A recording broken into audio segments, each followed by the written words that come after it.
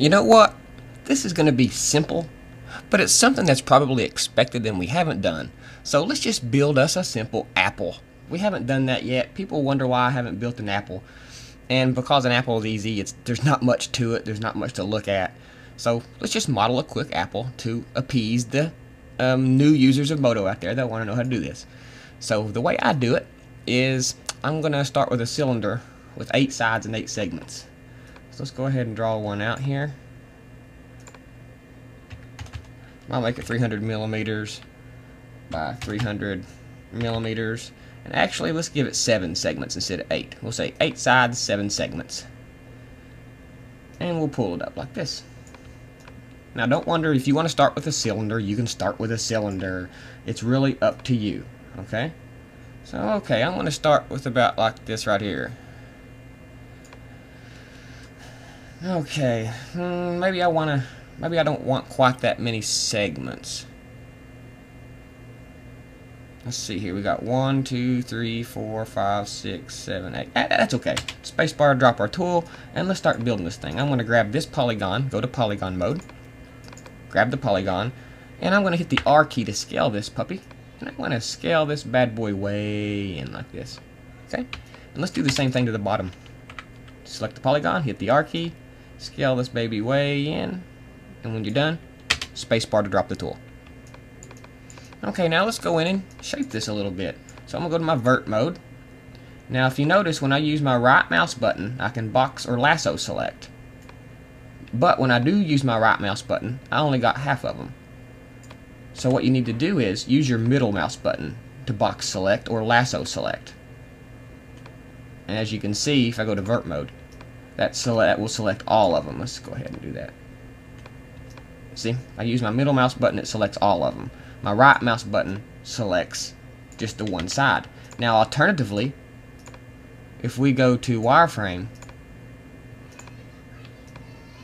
and use our right mouse button to select them, the same thing. Use your middle mouse button and we get them all. Okay? So I just wanted to cover that real fast. Just so you guys um, won't be wondering how come he's selecting all of them and uh, mine ain't. So let's go ahead and go ahead and shape this. Let's go back to our vert mode. Sorry for getting off on a tangent there. I already have those selected. So let's go ahead and hit the R key and scale this in. Like so. Okay, now let's go ahead and do the same thing on the bottom. We'll scale that in. If you want to scale the whole thing, you're more than obliged to. This is really no magic number to this. Okay. Okay, so let's go on and continue shaping out here. Let's take this one and we'll scale them out a tad. Then we'll grab these bottom middle ones here and let's scale these out like so. Let's just take this row. Now this is just a matter of scaling and sculpting and you know, all that good stuff. And let's take our one from down from that. Scale it in.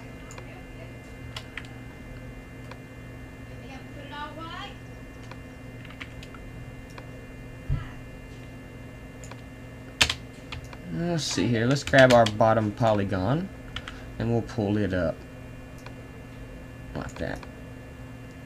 Let's grab our top polygon. We'll pull it down like that.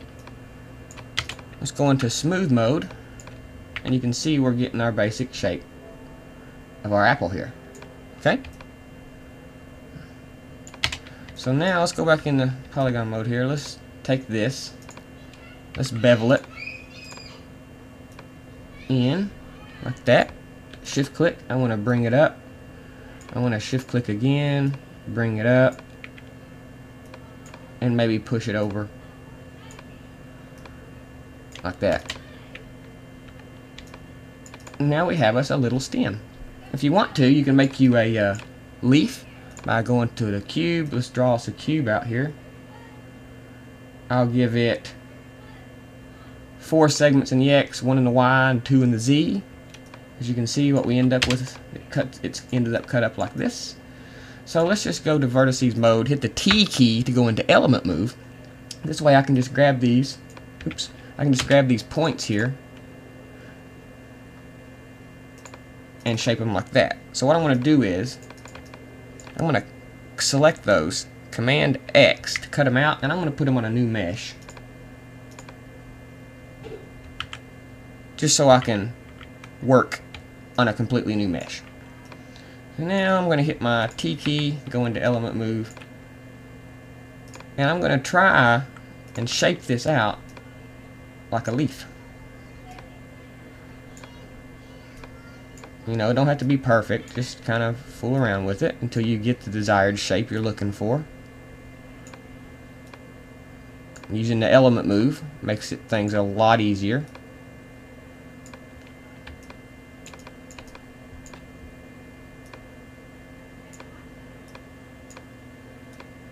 And I'm just kind of basically roughly shaping in a little leaf because this is not got to be really accurate or anything like that. It's just got to be close enough to where the people know what they're looking at.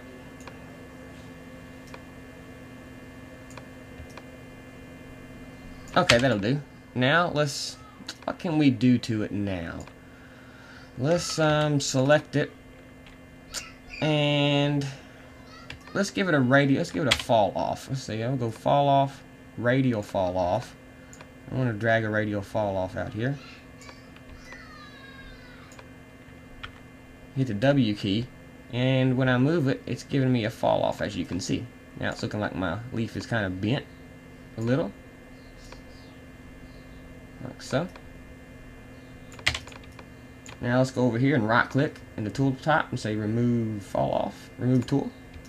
Now let's run the, let's fire the thicken tool on this and thicken it up like so.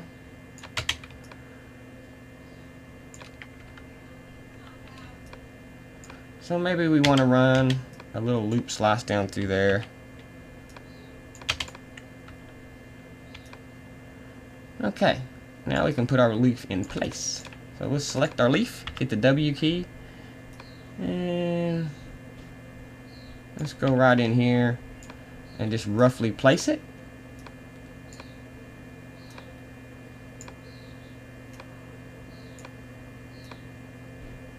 Let's even rotate it a little bit, like so.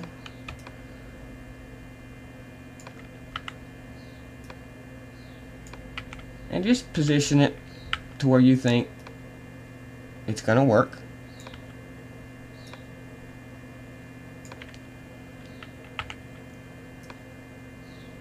Just move it down a little bit here and let's touch it in there. And there we go.